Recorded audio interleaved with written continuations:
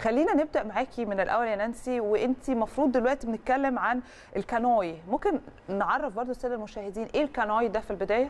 آه، تمام. هو الكانوي آه، آه، كان هو واتحاد التجديف نفس الاتحاد يعني هو والتجديف نفس ال- في نفس الاتحاد. آه، هي آه، لعبة شبه التجديف شوية. okay. آه، بعد كده الاتحاد انفصلوا هما الاثنين عن بعض في 2011 فبقى الكانوي منفصل عن التجديف. كل واحد فيهم اتحاد قائم بذاته. آه، ال- الكانوي تحت منه 11 لعبة مختلفة. آه، طبعا عندنا في ال canoe polo في ال SUP أو ال stand up paddling وفي عندنا الكاياك وفي عندنا ال dragon boat عندنا تصنيفات مختلفة كتير. ال- الكا- الكانوي بيختلف عن التجديف في إن كل واحد فيهم آه، لعبة منفصلة بمراكب آه، آه، منفصلة تماما مراكب مختلفة style المراكب مختلف style مقاديف مختلف حتى طريقة ال- القدفة نفسها مختلفة لأن التجديف اللاعب بيقدف بظهره ال- الكاياك اللاعب بيقدف بوشه.